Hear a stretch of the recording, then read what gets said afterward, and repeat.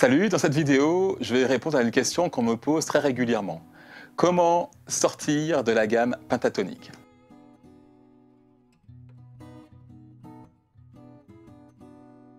C'est une question qu'on me pose euh, au moins une fois par semaine. Et euh, depuis le temps qu'on me pose cette question, eh bien moi j'y réponds toujours de la même façon. Je retourne la question en demandant pourquoi veux-tu sortir de la gamme pentatonique? Et là, habituellement, j'ai trois réponses.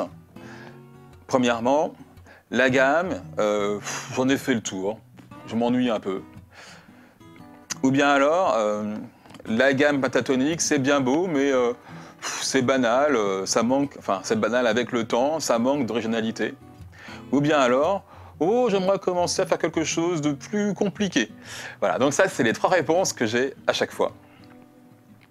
Alors le problème là-dedans, c'est qu'on oublie souvent que la gamme pentatonique, comme toutes les autres gammes, ou bien les arpèges ou le jaune intervalle, ça reste que des outils. Par exemple, imaginez euh, qu'un bon bricoleur vous dise euh, Ça fait des années que j'enfonce des clous avec un marteau, oh, je tourne en rond, euh, j'aimerais en sortir. J'aimerais avoir un, outil plus, plus élaboré. Alors là, vous comprenez en fait qu'en réalité, le problème, ce n'est pas l'outil, c'est la façon dont on l'utilise. La gamme pentatonique, comme n'importe quelle gamme, a un son bien marqué, une couleur bien marquée. Par exemple, si on veut l'utiliser euh, pour faire un solo euh, mélodique, assez lyrique, eh bien, elle ne sera pas idéale. Par contre, si on veut faire un solo euh, rythmique, un solo énergique ou un, solo euh, où on peut s'exprimer avec des bands euh, dans un contexte blues ou rock, elle sera parfaite. Donc en fait, la première question qu'il faut se poser lorsqu'on veut improviser, eh c'est quel genre de solo je veux jouer? Si c'est un solo hyper mélodique, c'est sûr que là, la gamme pentatonique, c'est pas terrible. Ça peut marcher, mais ce n'est pas, franchement, l'idéal. Par contre, si vous êtes sur une grille d'accords genre euh, hard rock, ACDC, tout ça, ou blues, la gamme sera parfaite et euh, vouloir en sortir, ça n'a aucun sens. Donc ça, c'est la première étape, se poser comme question, qu'est-ce que je veux faire, qu'est-ce que je veux entendre comme couleur de solo? Et qu'est-ce que la grille m'impose à l'oreille? Deuxièmement, eh c'est l'analyse de la grille. Et, ça, c'est un gros problème chez beaucoup de guitaristes. Et ça, ça vient de la façon dont on apprend la guitare. En fait, on apprend des plans au début. Alors, c'est une bonne technique au début. Mais si après 2 ans, 3 ans, 5 ans, 10 ans, 20 ans, on sort encore des plans comme ça, appris par cœur, ah bah là, c'est normal. On veut tous en sortir de ça, parce que ça sonne rien du tout. Donc, euh, le problème, il est là. Donc, si on sort des plans, sans, analyser la grille, sans se poser la question qu'est-ce qui va sonner sur ce genre de grille, c'est pourri. Donc en fait, l'étude de la grille, l'analyse de la grille fait en fait que vous allez choisir votre, outil. Euh, tel un bon bricoleur, dans sa caisse à outils, il y a plein d'outils, et chaque outil est dédié à une tâche.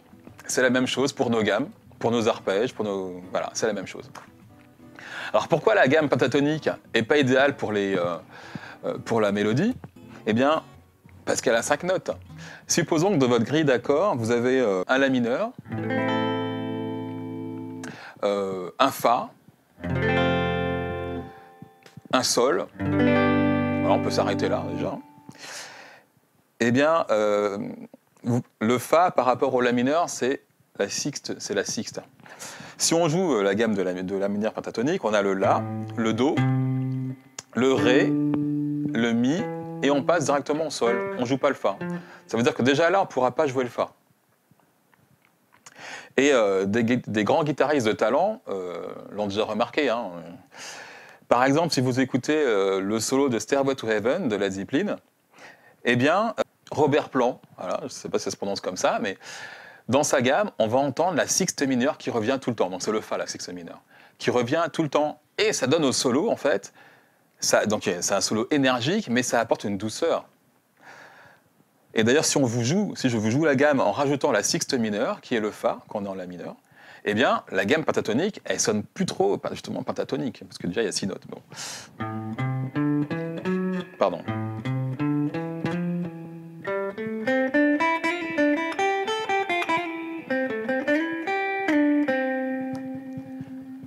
Là, tout de suite, eh bien, on est sorti de la gamme pentatonique simplement parce qu'on a analysé la grille. On voulait jouer un La mineur.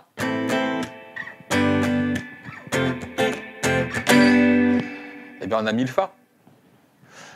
Et là, déjà, eh bien, on est sorti de la gamme pentatonique. Le fait d'avoir analysé la grille et pas jouer un plan bêtement comme ça, appris par cœur depuis 20 euh, ans ou 30 ans, des fois.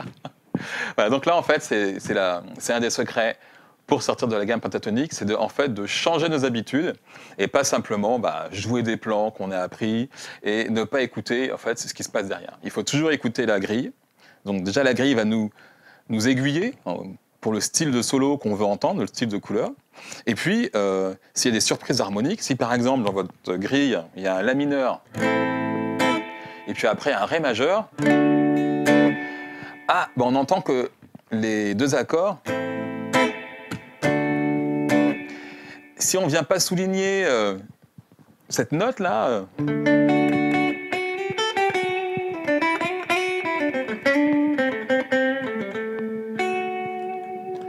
c'est dommage. Donc si on sort encore une fois un plan appris par cœur, eh bien, ça ne laisse pas, ça ne, permet pas d'écouter et de vraiment sentir la musique. Voilà, j'espère que cette vidéo vous a plu. Si c'est le cas, vous pouvez laisser un petit pouce bleu, vous abonner à la chaîne donc, il faut savoir que j'ai fait d'autres vidéos hein, sur le sujet, donc dans la, manière dont on peut customiser sa gamme pentatonique et en sortir progressivement. Donc, je vous invite à les regarder. Euh, vous pouvez également euh, télécharger donc, euh, dans le lien sous la vidéo la petite formation sur la gamme pentatonique transversale qui vous permettra, donc elle est facile à apprendre, c'est ça qui est intéressant.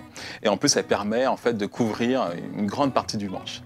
Voilà, je vous dis à très bientôt et je vous souhaite une bonne grade comme d'habitude.